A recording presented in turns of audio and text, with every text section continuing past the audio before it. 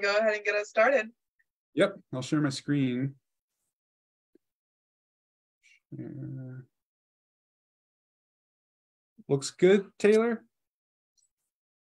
You're coming through clear. Fantastic. All right, everyone.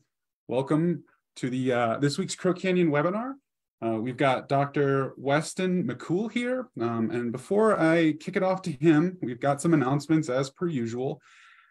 Um, one of the things that we want, we always make sure to do is a land acknowledgement. And so the Crow Canyon Archaeological Center acknowledges the Pueblo, Ute, Paiute, Dene, and Jicarilla Apache people on whose traditional homelands this institution sits. Our mission related work would not be possible without Indigenous people in the past, present, and future. We respectfully recognize and honor ancestral and descendant Indigenous communities for their contributions to all humankind. Crow Canyon is grateful to all Indigenous people and supports the preservation and protection of cultural traditions, ancestral connections, and sacred lands. Uh, one of the other things that we just kind of wanted to uh, make everyone aware of is our spring appeal. Um, and so uh, we're, we're celebrating our 40th anniversary this October. Um, and, uh, you know, we just want to say that we have, you know, thousands of people every year that have come to campus. And so updates, upgrades, and repairs are just kind of part and parcel to what we need and what we need to do to continue our mission. So if you're interested in helping us um, uh, do those upgrades and repairs, um, which includes, you know, uh, upgrades and upgrades to the webinar series, um, you can go to this link right here and, and donate. Um, so if you need more information, you can feel free to contact any one of us on, on the web page about that. Um, I know we're all very versed in Zoom right now. Um, I just want to say a couple, just have a couple of reminders on the kind of um, practical side of this. Be sure to put your questions in the Q&A part, not into the chat. So Q&A, not chat. And if you have any issues whatsoever, we're also streaming this uh, live on Facebook. Uh, we've got a couple of uh, interesting uh, webinars coming up um, next week and the week after that. Um, so the next one will be More Than Warp and Weft, Weft the Survival of Dene Textile Arts. Um, and then the week after that will be a um, kind of a panel uh, about Crow Canyon uh, internships, uh, the internship program through time. So that'll be uh, really great. So let me introduce Dr. Weston McCool. He's a quantitative archaeologist and human ecologist interested in all the ways that humans adapt to challenging circumstances so whether climate shocks, resource poor environments, population pressure, or conflicts, humans establish innovative, though not always successful strategies for coping with hard times. His role as an archaeologist is to use our material, material remains to infer past human behavior within a perspective of human behavioral ecology. So this means that Dr. McCool is interested in the archaeological record from what it can tell for what it can tell us about behavior in relation to complex socio-ecological dynamics. He is particularly interested in why people so often resort to violent conflict and its impacts on population health and resilience. He explores these issues using spatio-statistical models, big data, isotope chemistry, and other methods from environmental archaeology and bioarchaeology. Weston's primary field sites are in the central Andes and Western North America, but he has experience working with archaeological and contemporary populations around the globe.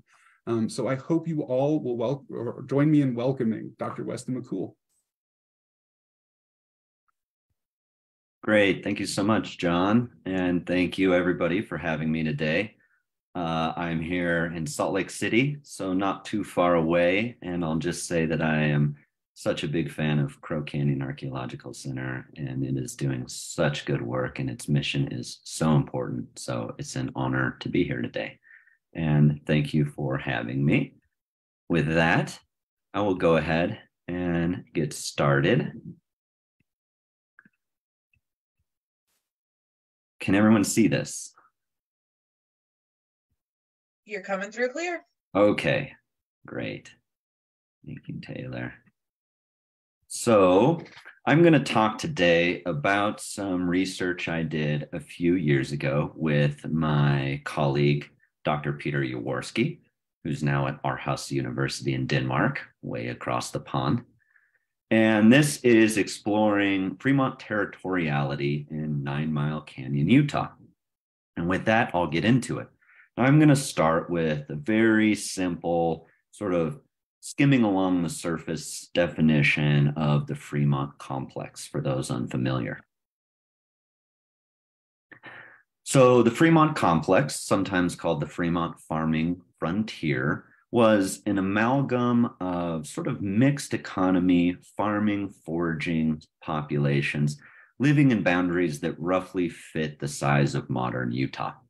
These were distributed along the western Colorado Plateau, where my research has taken place, and the eastern Great Basin.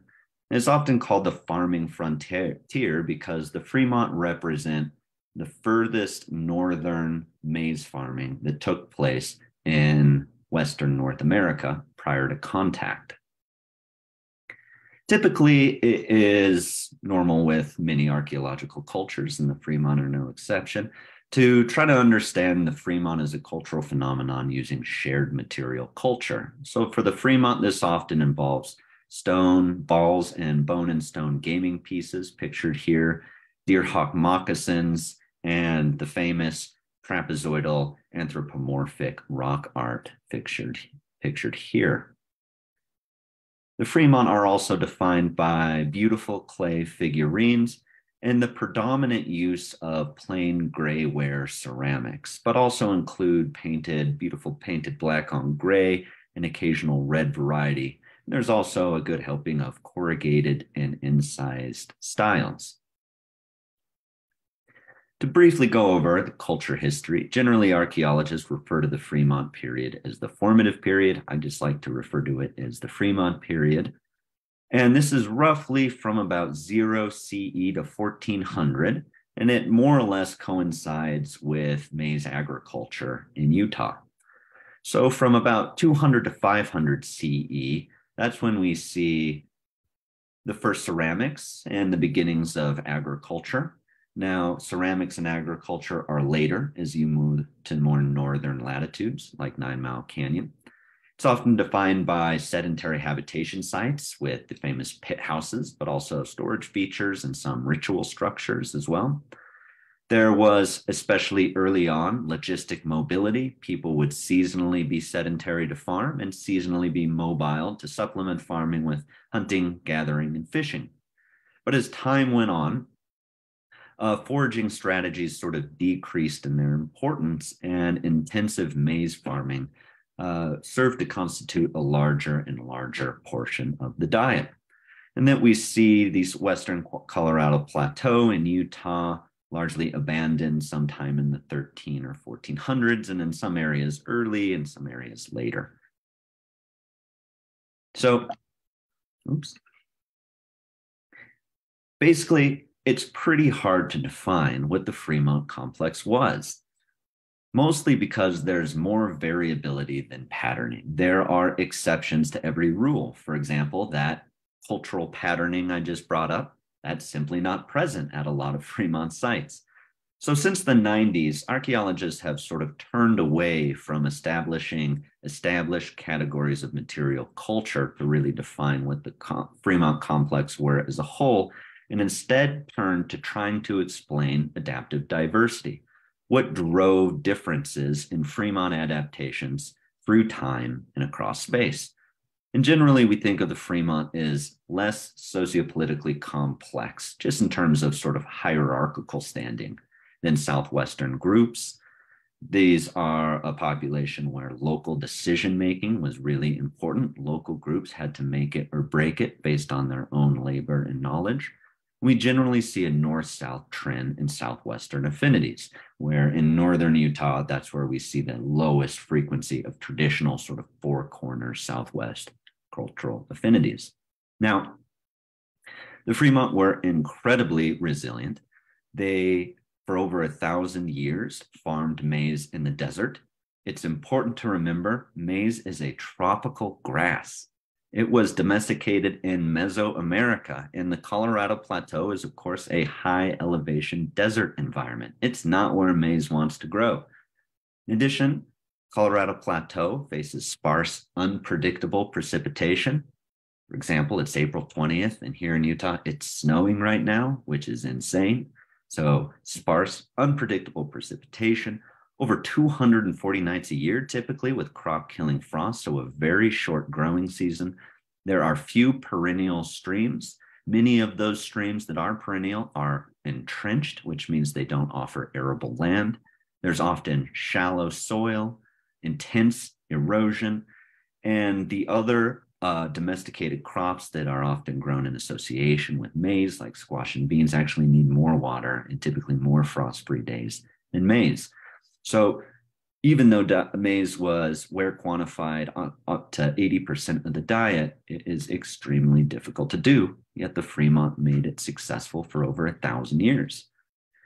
In the primary strategy or adaptation uh, to, to um, cope with these difficult circumstances, is irrigation farming. So most Fremont population centers are distributed along irrigation corridors and perennial stream systems where they could farm either uh, on areas that are seasonally flooded, that have alluvial fans, that are close to standing water where sub irrigation can occur, or up above drainages where canals can be dug to deliver water to, to feed agricultural systems. And so we see most Fremont sites in these perennial systems really relying on irrigation. And the reason for this is particularly in northern Utah, say in Nine Mile Canyon, pictured here. If you travel to the point where you're high enough, where there's enough rainfall for dry farming, it's so cold that there's not a sufficiently long grow- growing season.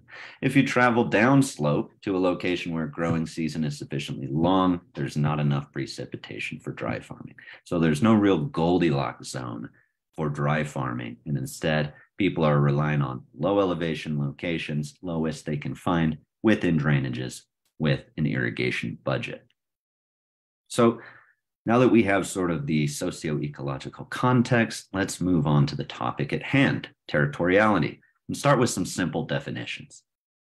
Territoriality is most often defined as some combination of the active excluding of competitors from a resource patch via defense or advertisement.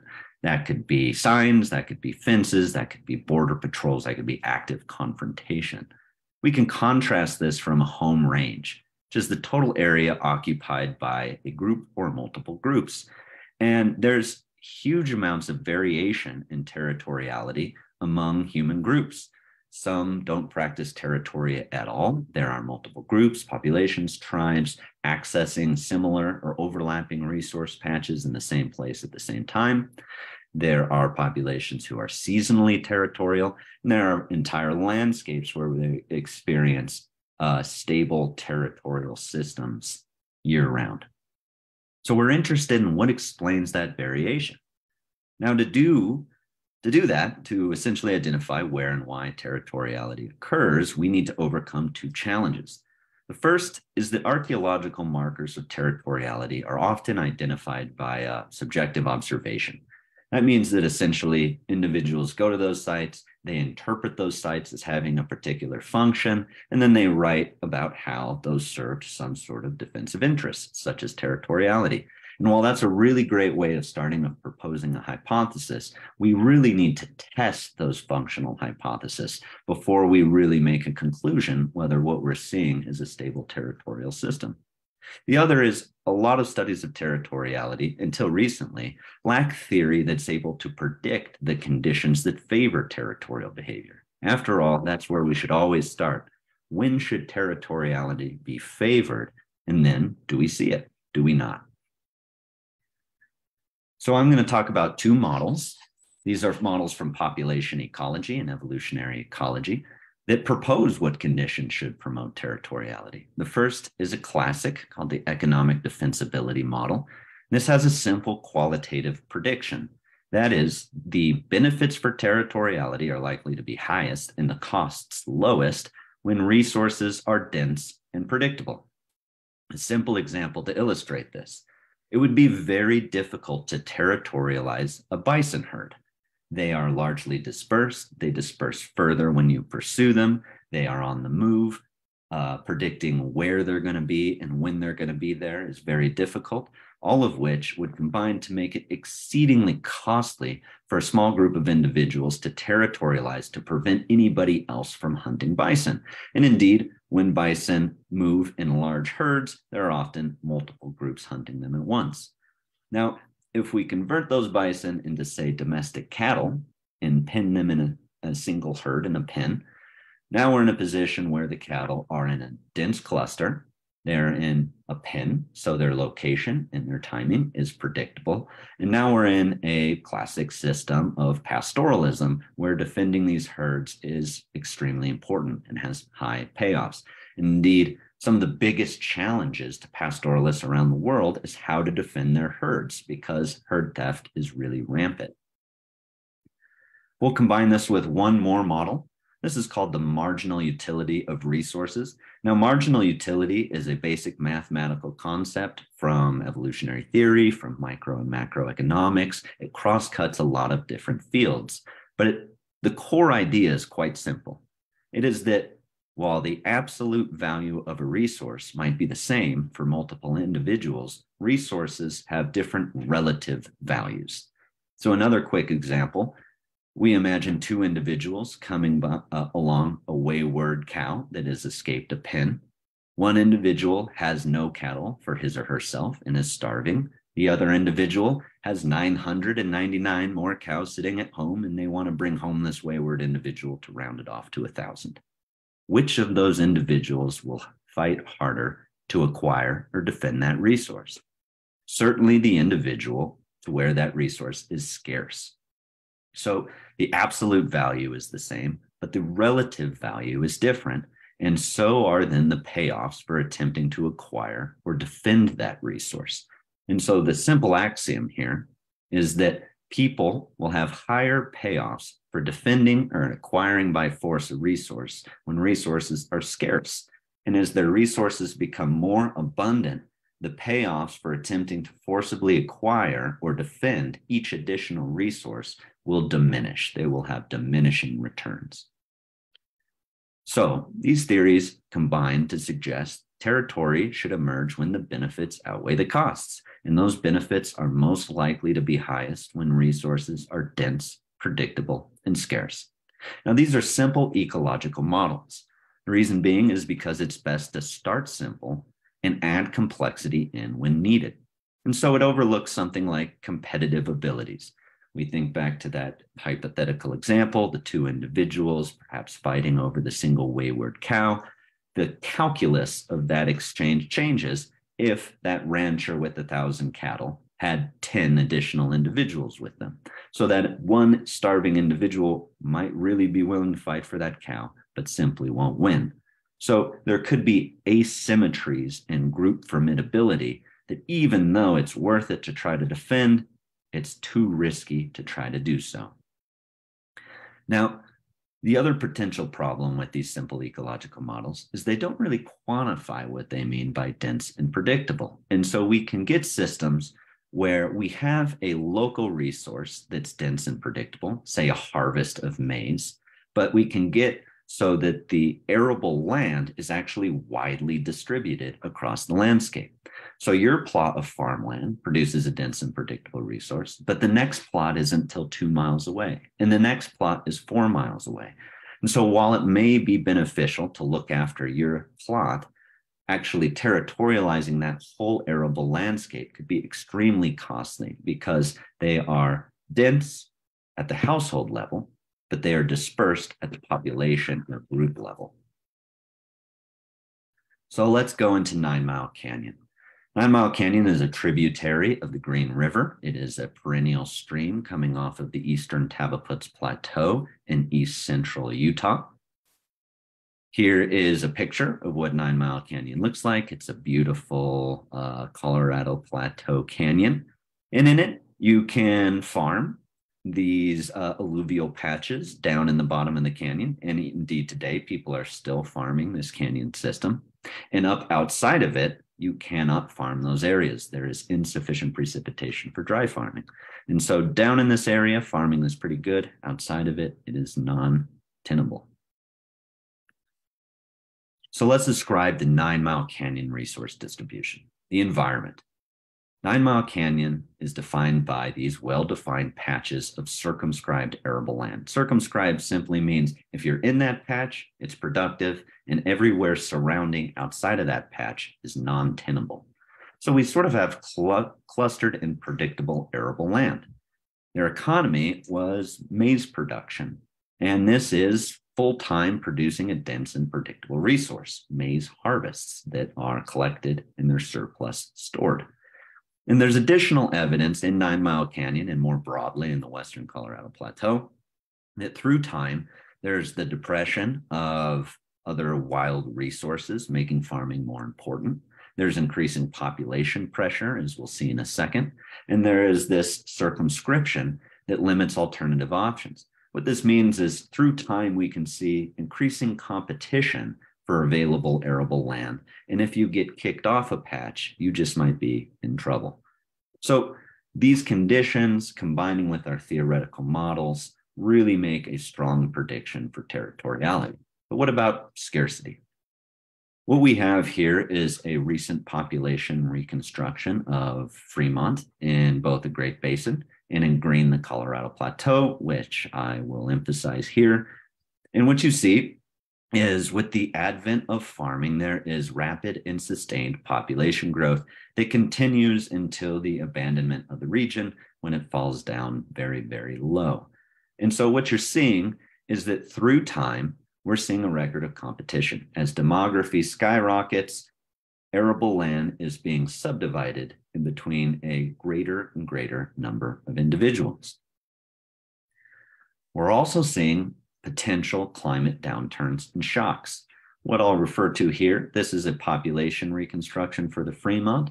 And right as populations are peaking, we see a climate shift from warm, wet conditions down to cold, more arid conditions.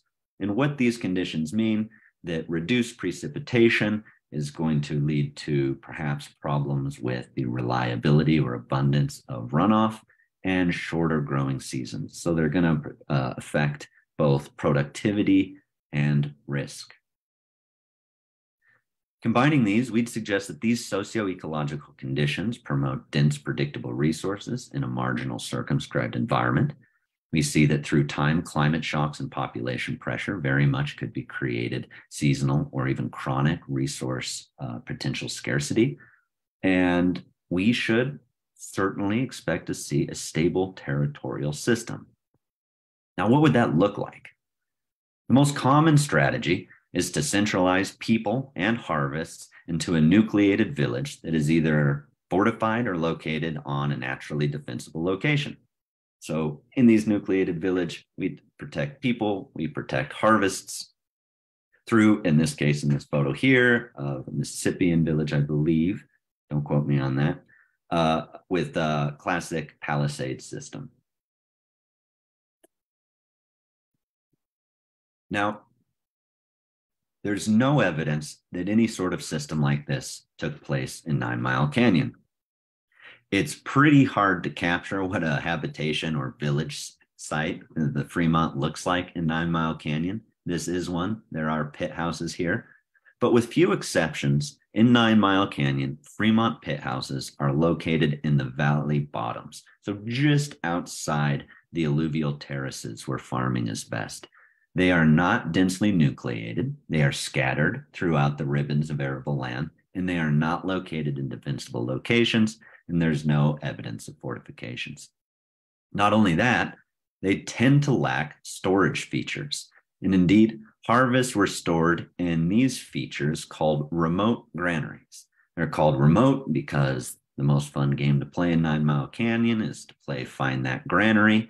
So harvests, instead of being centrally located and defended, are quite the opposite. They are scattered throughout the canyon complex, often in hidden or inaccessible locations. So they weren't defending population centers, they weren't nucleated, and they weren't centralizing harvests into defensible locations. Another possibility is rather than defending specific plots or storage sites or villages, there is a active pattern of maintaining territorial boundaries of the agricultural landscape. So defend Nine Mile Canyon rather than any particular sites. Well, to do that, you need a system, a system to monitor boundaries, to identify intruders, and to confront and exclude those intruders. And indeed, in Nine Mile Canyon, located throughout the canyon, there are these tower structures, two of them pictured here. These have been noted by the earliest explorers through Nine Mile Canyon. And since the 1800s, explorers and archaeologists have proposed that the function of these towers are to act as watchtowers to identify and exclude intruders. So, if true, this would actually be some really interesting and straightforward archaeological evidence of a large landscape level territorial system. Now, while many people have argued that, nobody has really gone out and tested that to make sure well, do these towers, when we look at their distribution, exhibit the functional properties of watchtowers? So we set out to test two different hypotheses.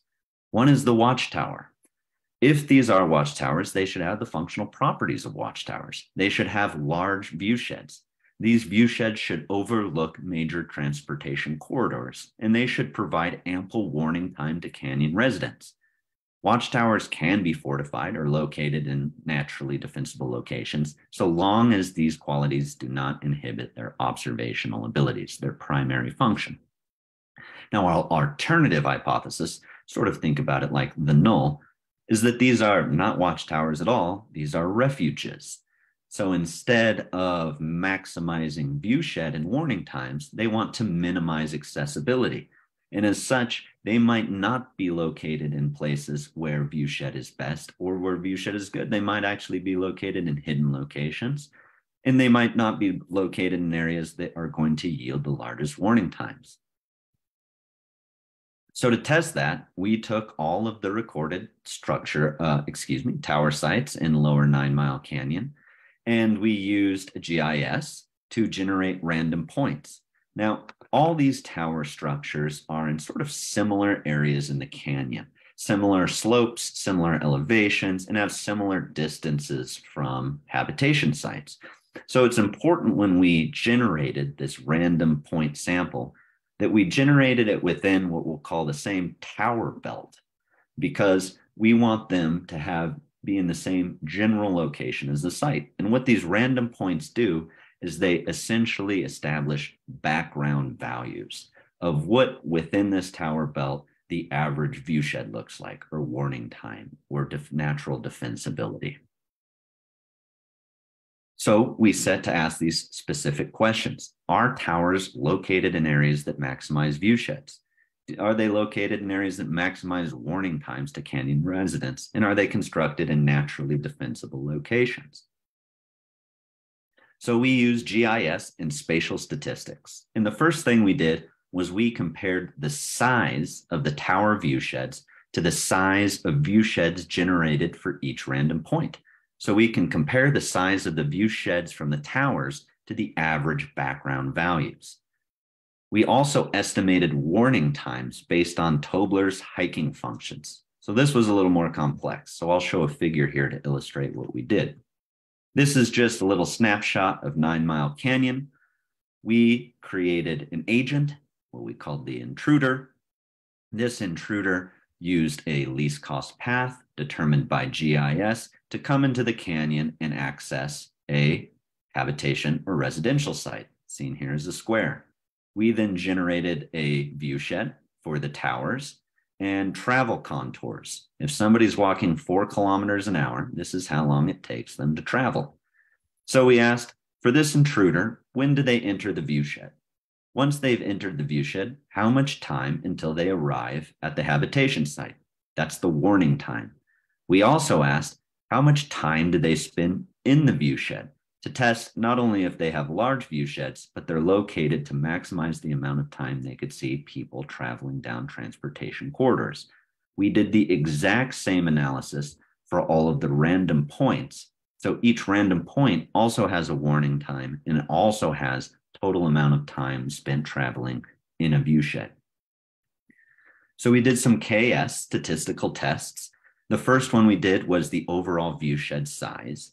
And what we see is the viewshed size of the towers and the random points are statistically similar, which means the viewsheds of these sites are no better than if you distributed them randomly throughout the tower belt.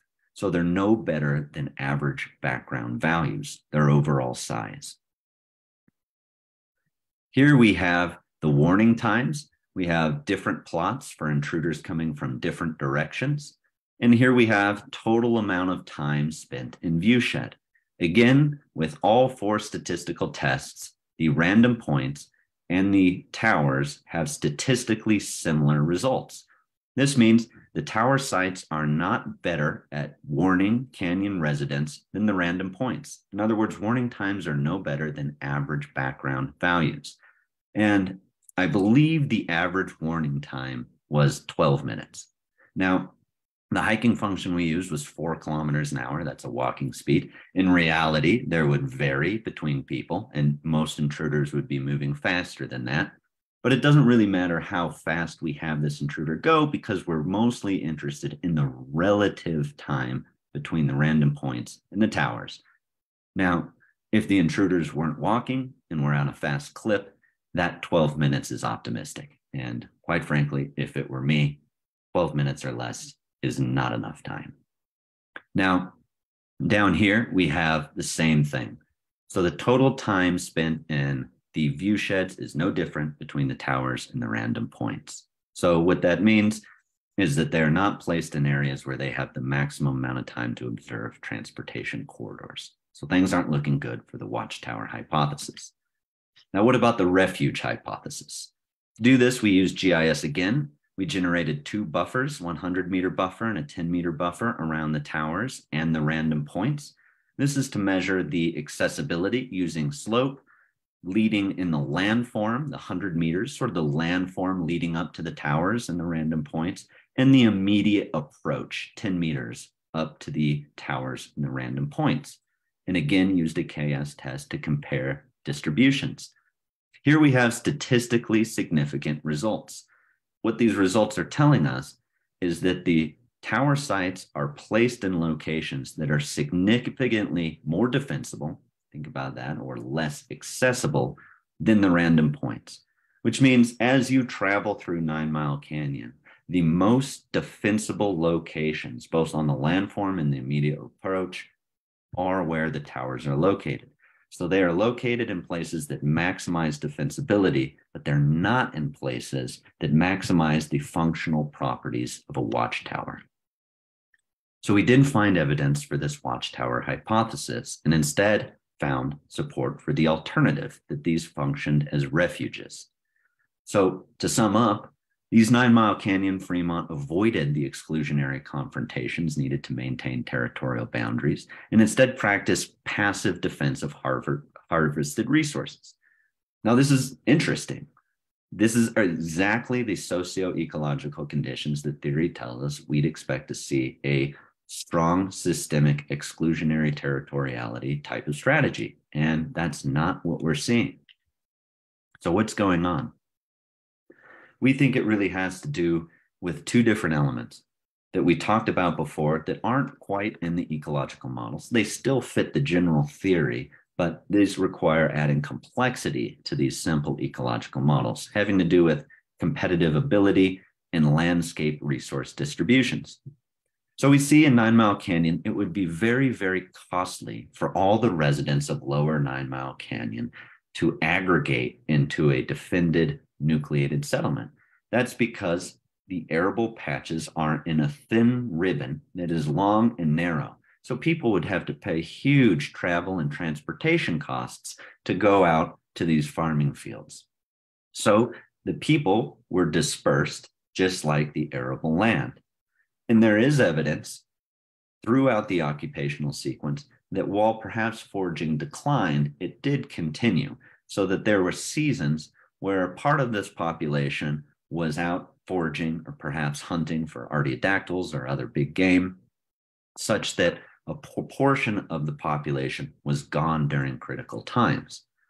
Now, what we do know is that village sizes outside of Nine Mile Canyon, along the Green River and parts of the Uinta and in parts of the San Rafael Swell, the surrounding areas, are much larger than those in Nine Mile Canyon. So this might have something to do with competitive abilities.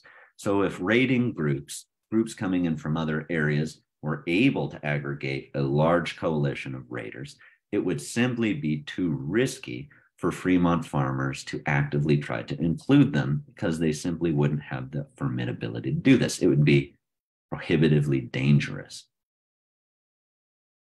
So within this constraint, the Nine Mile Canyon Fremont adopted some pretty genius strategies. One is to place harvested resources in scattered, hidden, difficult to access locations to reduce the risk of theft or raiding and avoid, if possible, catastrophic loss.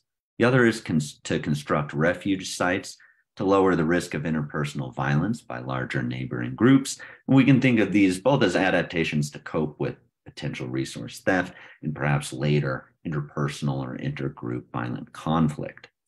Now, these small type of subsistence groups don't practice expansionist warfare, really forceful land procurement. So it's likely that as long as they were able to avoid these raids to protect themselves and scatter their resources, that they could persist under this adaptation for some time. Nonetheless, it is costly to construct these tower sites. It's costly to construct remote storage granaries. And if some of their harvests are being forcibly removed or taken, this might have contributed to the regional abandonment in the 15th century. And that's the question we're pursuing with current research. On a broader sort of anthropological front, we'd see that this is an example of socio-ecological conditions disfavoring territoriality despite dense and predictable resources. And this is probably due, as we said before, uh, to costs of territorial boundary maintenance and the risk of harm from larger, more formidable groups. So, why this might be useful? Uh, agricultural societies, societies that define the globe today and have in many areas for as much as 10,000 years, are in the business full time of making dense and predictable resources. Nonetheless, there is variation and how much people invest in territoriality or whether populations are territorial.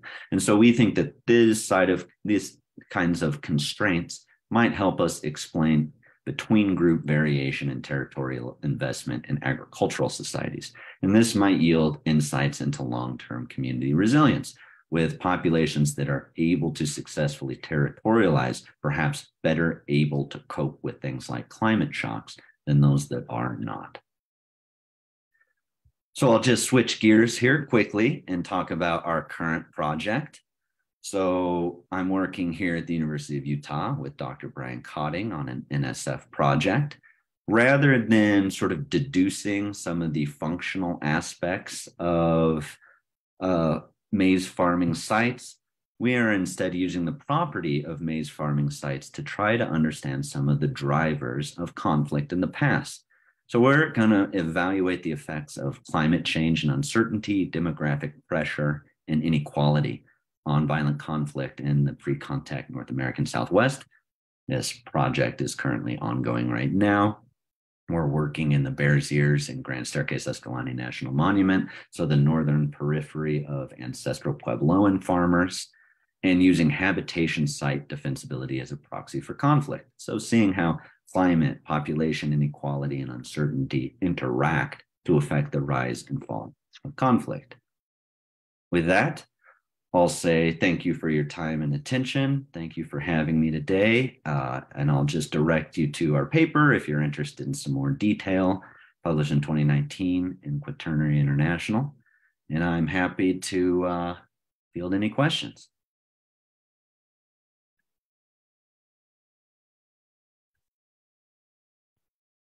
All right. That was fantastic. Thank you so much, Weston. This is great. So we've got a, a few questions in here, so I'll get us started. One of the things that popped up um, during the when you were going over your the slide that had uh, territoriality as the header on it um, was the kind of uh, you had uh, the interaction. You were explaining the interaction between how resources can be dense and scarce, um, and we were kind of just wondering if um, you were talking that things can be dense and scarce at the same time, or um, just kind of if you could clarify that. Right. Yeah. Good point. So let's imagine a heterogeneous landscape. Uh, I'll open this up. A heterogeneous landscape like Utah. What we often see is that when there's a climate shock, say there's one year where there's 30% less precipitation than the previous 10 years on average. That's a shock because we couldn't expect it and it's bad. It's unfavorable climate change. Because the landscape is so heterogeneous, that shock won't be felt equally across the landscape. There could be areas where it leads to increased productivity. There could be microclimates where it doesn't affect growth whatsoever. There could be areas where it's catastrophic. So you can get a system where one valley is producing a dense and predictable resource, are largely unaffected by this climate shock.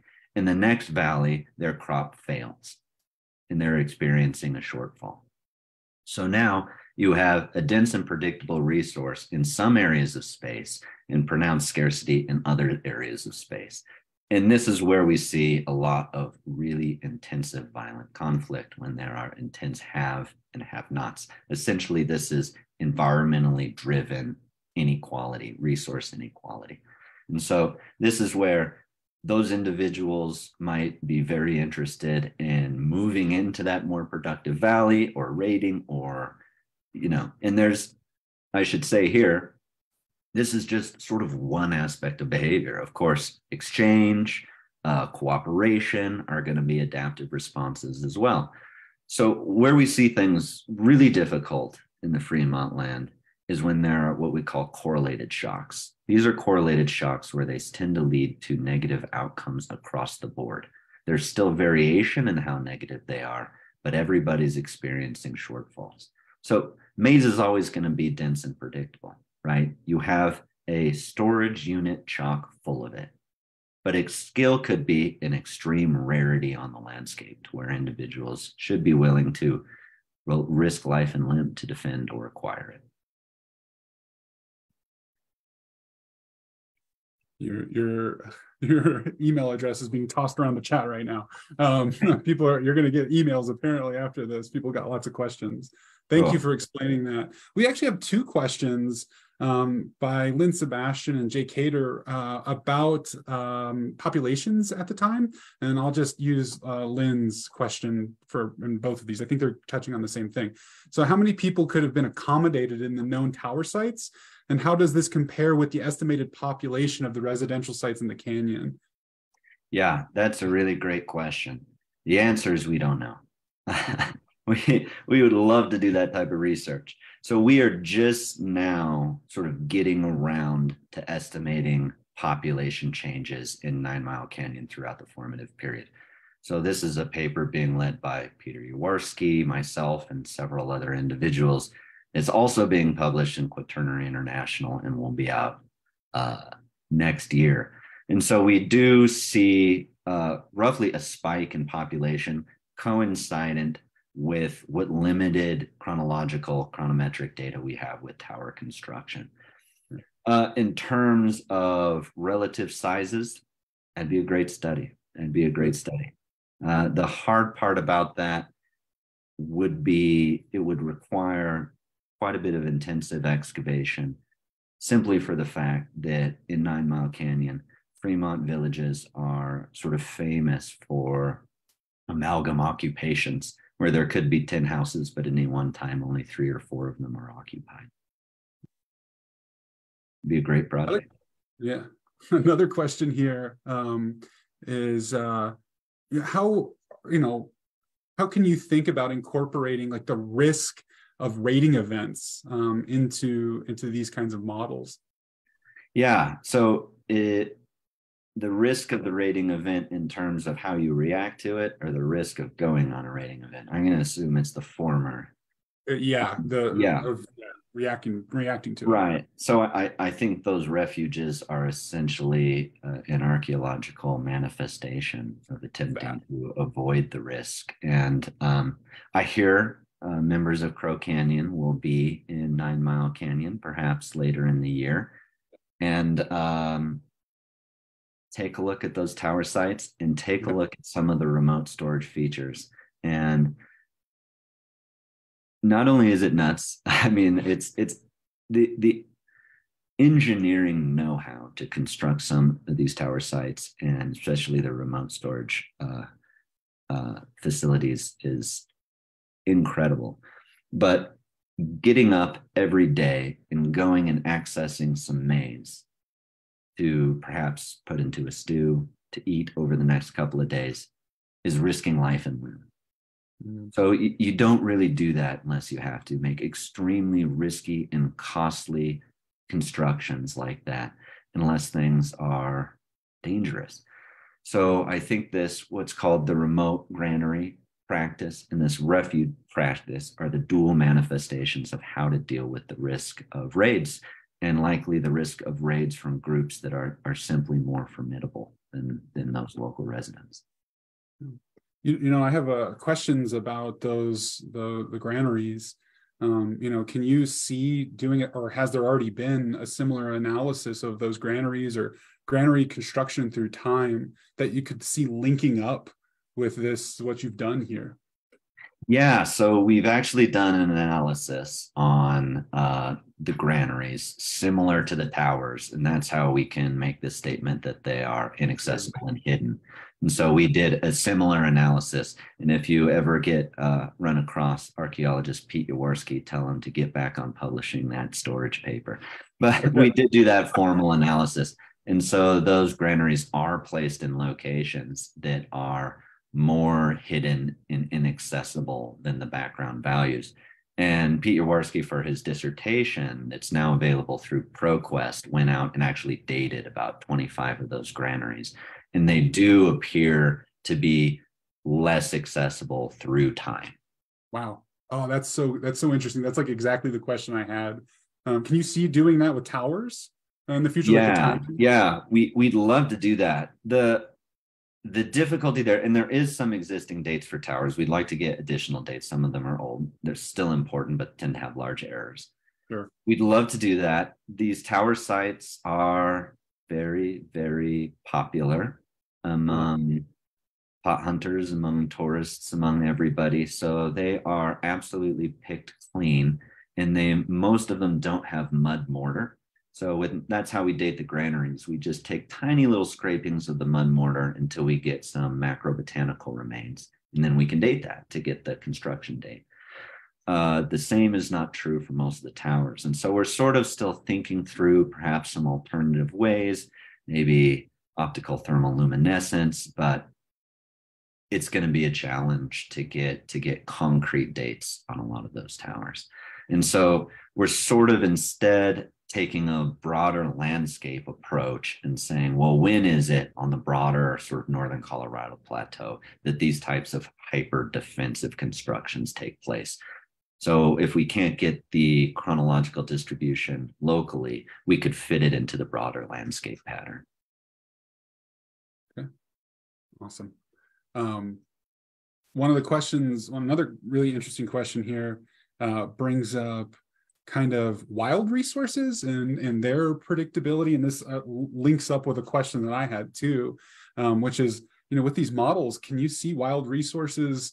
kind of throwing anything off. And I specifically have interest in aquatic resources, and those are, you know, usually nicely predictable. What, what's that like in the canyon? Yeah. So, great question right? That's always that's always the the key question among the fremont is what's going on with the mixed economy. So we have some data points on the broader landscape that are showing pretty clear resource transition uh, depression excuse me resource depression. At the same time we're seeing agricultural intensification ramp up. Now in terms of aquatic resources uh, nine mile canyon is a very very small creek and that's actually pretty characteristic of a lot of uh, Fremont farming. I think the reason why I'm speculating here, I want to test this. I think the reason why is because larger tributaries like the Green, which could have been transportation corridors, there's catfish, there's uh, more aquatic resources. They're mostly entrenched. The walls come right down to the water. And before they were dammed, they were getting really significant differences in flow. So you could end up as a scenario with you plant in May and by July, your crops are high and dry, or you plant low and the May uh, precipitation comes, or even some summer monsoon rains come and they get flooded out. Whereas these smaller perennial streams are more controlled, but they don't have really abundant aquatic resources in these smaller streams. But in terms of wild resources, there's not really an abundance of high ranking plant resources in the area that are going to be outside of that transportation corridor. And so, in that sense, wild plant habitat is competing with maize habitat. And some basically experimental studies have shown that you're going to deplete those wild resources pretty quickly, whereas maize you can intensify and increase your yields. So I think probably through time, what's happening is that mixed economy of favorably or if even intentionally cultivating and using wild plant resources is going to decline as more and more land is cleared for maize agriculture. I still think there's these fallback resources. I still think foraging and plant resources are important. But at the end of the day, if the maize harvest fails, you're not getting enough calories from the broader landscape to survive long term. Sure. So hmm. maize isn't everything, but it is the staple. Yeah, it's the big the big thing. Um, you know, uh, we have some kind of broader questions here. Uh, one of them is, can you just talk a little bit about is you know, is there a lot of interaction between the Fremont and the and ancestral Pueblo folks? Good question. Um, that's that's a really really difficult question. It's a really difficult question because it's still not really clear what the nature of the difference is between the Fremont and ancestral Puebloan, and that really depends on who you ask.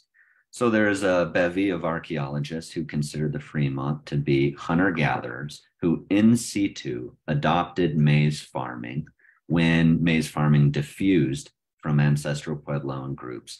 And then therefore it is an in situ adoption of maize and that sort of continuation of in situ pre-formative cultural momentum, if you will, sort of creates this difference. There's another alternative, and I think this alternative hypothesis is a little bit better supported by the dietary and demographic data.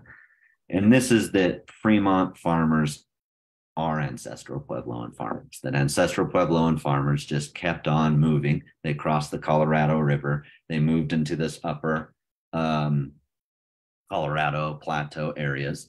And because they became further and further away, cultural, cultural traditions, adaptations, material culture started to diverge. And this divergence is sort of a snapshot in time. And we're taking that snapshot and saying, look, these are two different characters. They must be different cultural groups. Um, but there are really interesting interactions. I think the most fascinating interactions are on the Kaiparowits Plateau on 50 Mile Mountain and Grand Staircase Escalante. You see Fremont pit houses, the gray ware, everything characteristically Fremont from about 400 to 1050 AD. Then from about 1050 AD onwards, everything looks classic Kayenta ancestral Puebloan. Was this one population displacing another? Is this what extensive to intensive maize agriculture looks like, along with increased trade? We don't know. There's a lot of interesting questions there. I'd say in Nine Mile Canyon, you're getting to the point where you're, you know, several hundred miles of really rough terrain from ancestral Pueblo and heartland. And so certainly there's sort of down the line trading going on, but hmm. direct interaction, I'm skeptical. Okay. Yeah, very interesting. Um, one question here, um, this is uh, a question that I also had too, is, is it possible that towers are not defensive structures but examples of ritual construction. And one, of the things that I think about, I think it's a, I, I'm just yanking this off the top of my head, so I could be very wrong. I think it's a paper by Hobson in Antiquity that talks about Kiva Tower complexes around Chaco Canyon and that you know they when, once you go up them they don't increase view shed um, or your you know visibility but they're actually the towers are to be looked upon as almost like beacons on the landscape. So i'm just wondering if you kind of thought about that and how you kind of think about those kinds of questions. Sure. Yeah. Um, well like anything else i think uh, there's a question between sort of primary function, secondary function, tertiary function, and the easiest thing to test is primary function.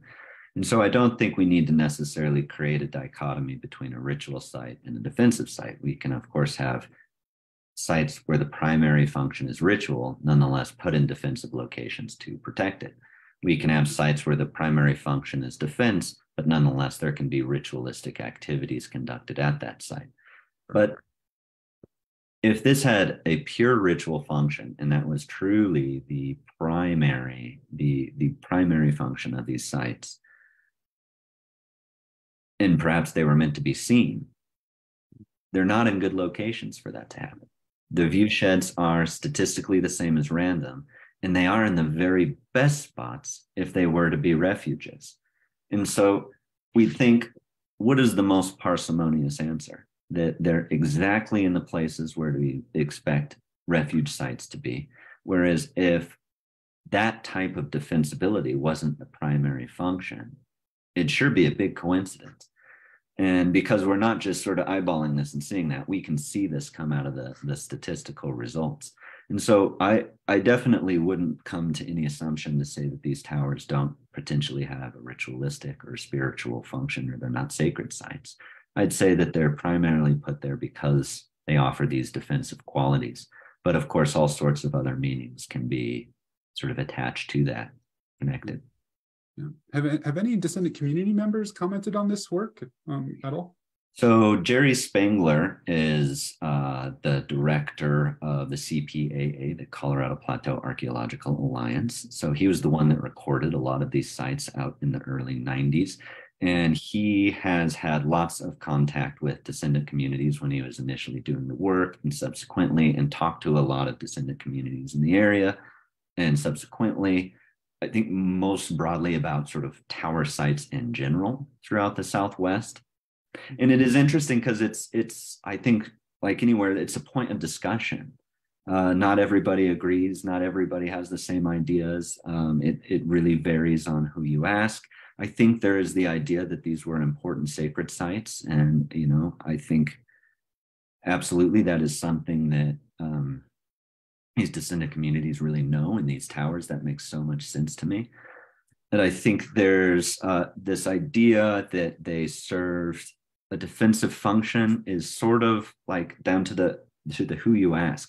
And so we kind of had we were really interested in the granaries. That's sort of the thing we wanted to do. And it's like, well, yeah, but what's to do with these towers? That's a really important component. Let's ask around. We, we sort of asked everybody who possibly have an idea for it. And it was like, well, you know, 40% say this, 40% say that, 10% says this, 10%. And so we thought, you know what? We're going to have to just do this the most time consuming way, do the GIS, mm-hmm. do the statistics. And ultimately, you know, we consider these results as a hypothesis. There's support for now, but as someone gets better data, as someone gets a broader landscape view, and they fit these 12 towers into 1200, it might end up that uh, there's a bigger pattern that we're missing here. But for the time being, we think that there's really strong evidence that these are indicating that they're refuges. And what dates do exist on these hmm. tower sites tend to be later in time, around the same time that these sort of stressful times are coming about. Right. Right. And, and, on this kind of same, this is a really great question here. Is like, is there, is there any evidence in the towers for like cooking or hearths or anything like that? Um, They're pretty much clean. Um, the problem with that, most of them, as they are built on the most defensible location, most of them are built on raw sandstone. So if there were uh, any domestic artifacts in there, they're they're long gone long gone. Um, it might have been gone from the earliest expeditions. We don't know, but uh, most of those that are just on the raw sandstone there, they they could have been well equipped. We just we just don't know, and we just don't know the nature of what raiding was like. I'm, if it was people coming in, spending a few hours uh, going for the granaries, getting what they can, uh, right? There's no real beast of burden, even if it's a large raiding community, they're only going to be able to carry so much and they leave. So people are up there for a couple of hours, a couple of days, but perhaps not like an entire season. Um, okay, I'm gonna make this one the last one, Weston. Um, and it's another one that I'm interested in too. Um, and so have there been going back to the kind of these larger connections with different cultural groups around the Fremont? Are there any genetic studies done on maize? Good question. Um, yes, but none that I'm aware of that if they incorporate maize from sort of this general cultural region, I'm not aware of it. Okay. Uh, there have been quite a few studies that date maize and use the dating of maize as sort of a marker of intensification. Uh, Brian Codding and others have done that. We have a great student here, Ishmael Medina, that's about to publish an article on that. Um, yeah, it would be it would be really useful. Where we do have genetic data on maize, uh, especially in the lower southwest, it's really fascinating because we can see significant and fast artificial selection for um, drought tolerant varieties. And so they are quickly moving away from this uh, tropical grass. Yeah. Um, well, that, we're I'll gonna have make to check one. back in. I haven't looked at that issue in a few years, so I'll have to check back in. So, uh, It it is an interesting take question. yeah. Um, well, we're, we're gonna make that one the last one. We want to be respectful of your time and we're just so thankful. Uh, everyone's been asking how they can get in touch with you. So I, I'm gonna apologize on behalf of Crow Canyon for your inbox later. But if anyone has any questions about how to get in touch, we put Weston's email in the chat, but you can also just Google, you know, Weston McCool, University of Utah. Um, and you can talk with them. So absolutely. thank you so much for your time. We can't tell you how much we appreciate it. This was a great talk. Oh, thank you so much and keep up the amazing work, Crow Canyon. And thanks everybody for your attention. What amazing questions. It's so exciting to get people interested in your research. So thanks. All right. Bye, everyone.